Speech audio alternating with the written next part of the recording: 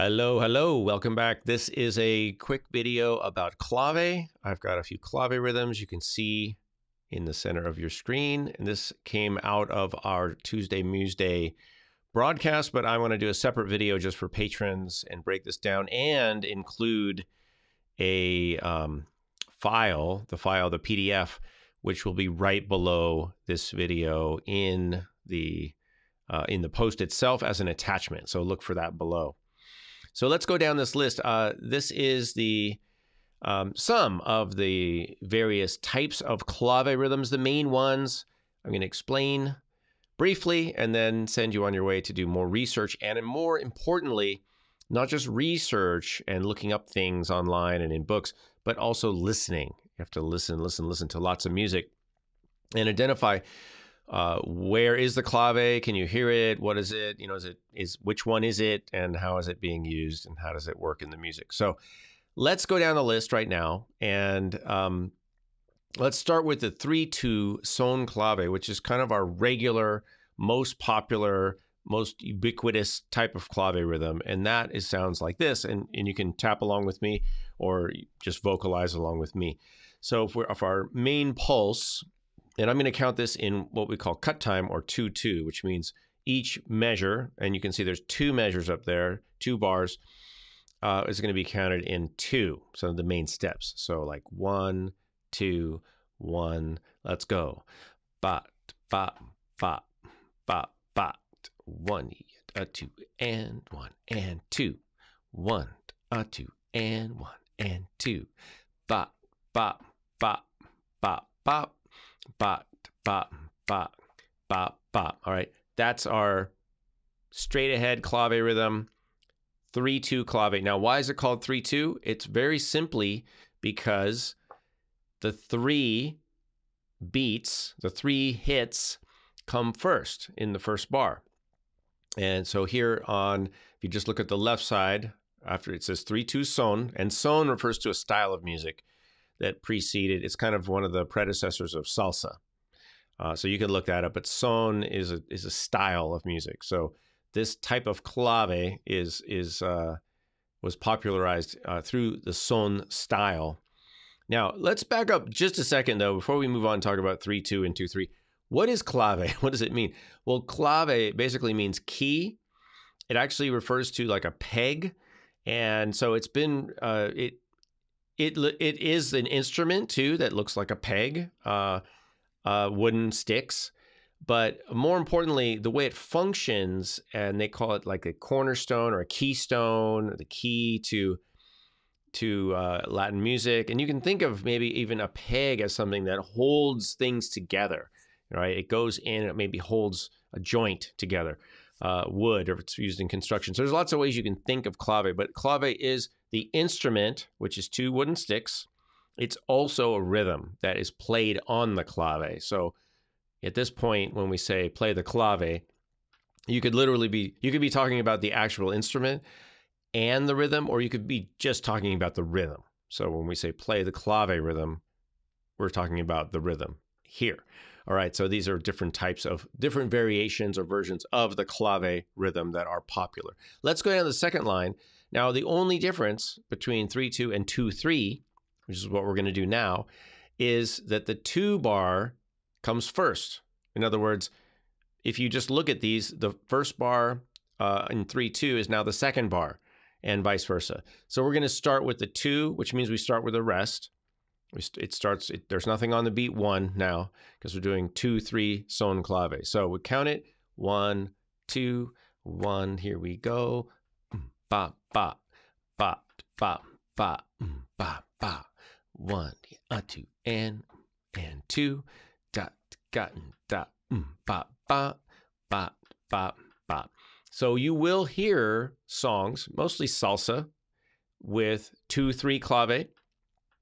And uh, and then it might switch where they phrase the music to three two clave. And songs will sometimes switch back and forth. In the phrasing, the clave rhythm does not change, but the way the music relates to it, or the you know the musicians, the way the bass player and the piano player and the other musicians relate to that clave rhythm, might change in as far insofar as they might start their phrasing on the three side. They might start their phrasing on the two side. And that's a whole discussion that people have, and composers will write music for a 2 3 phrasing or a 3 2 phrasing. You don't necessarily need to know that, but I'm just saying that's something that happens. You can research that. You can listen to different music and say, ah, this sounds like the phrase starts on the two side of the clave or it starts on the three side. Uh, clave's clave, it's going on constantly. Once it starts, it usually doesn't stop. It doesn't change in the song, although there might be breaks and things uh, that will flip the way it's oriented to the listener. All right, let's go on and look at 3 2 rumba clave. Now, rumba clave is more, it's related and more used in rumba, which is the folkloric, more West African influenced music. Salsa, which we were just talking about, is more of the high society ballroom dance music, you know, that you would see in nightclubs and dance halls played by a salsa band, which is sort of a combination of the Spanish classical instruments like pianos, bass, trombones, flutes, violins, um, along with some of the Afro Cuban instruments influence like bongos, uh, and then timbales, which actually came out of the timpani, the kettle drums. So salsa is that it's more of the you know society fancy dance club you know music uh, and then rumba would be the music for, of the people. It would be folk music played in the street, played in backyards, played at uh, you know in parks, and just casual. And that music also, as you might guess, was more um, played by the uh, descendants, or at the time slaves, uh, and descendants of the people uh, that were brought to Cuba from West Africa, and then you know that whole melting pot of languages and rhythms and drums and music and everything that happened there. So that's what we see on the rumba side. And rumba, you usually have just drums, uh, you know, maybe a cowbell, clave, uh, scrapers, um, but the main uh, melodic content is just coming from singing. So it's usually just drumming and singing, and then there's there'll be dancing, uh, and that's rumba. So rumba and we're going to relate this to the to the bottom rhythm, the Afro-Cuban six eight later. But for now, we're going to look at what makes rumba clave and really, the only difference between 3 2 rumba clave and the 3 2 son clave is one note. So I want to draw your attention to the first measure. Uh, and we're looking at the third line down right now. The, th- the first measure, you'll see if you look up at the top that the last beat in the first bar is a quarter note. In 3 2 rumba clave, that is now pushed uh, a half a half a beat later or an eighth note later to the last eighth note. What does that sound like? So I'm going to start with a couple bars of son clave, the first one we did, and then I'm going to switch over to 3 2 rumba clave so you can kind of pick up the difference. All the other notes are the same. So four out of the five notes of the clave are going to be the same. Just that one note is different. So let's start with 3 2 son clave two times, and then I'll switch to 3 2 rumba clave. One, two, one, let's go. Ba, ba, ba, ba ba ba ba ba ba switch ba ba ba ba ba ba ba ba ba ba ba uh uh bam bam bam bam bam bam bam. Now that's the one that gives people a little bit of trouble. It's a little syncopated, meaning it's off the main beat. It's something to practice. But if you listen to rumba, like rumba guaguancó, so you can search guaguancó folkloric music of Cuba, you know, search in that in that genre, use those keywords, and you'll hear that rhythm, da da da da da, And it can be played slow, like bum, bum, bum, bum, bum, or it could be ba ba ba mm, ba ba ba ba mm, ba ba. It could be very fast. All right, let's go on and look at a related rhythm to both clave, although this tends to be more in the folkloric style, in the rumba style,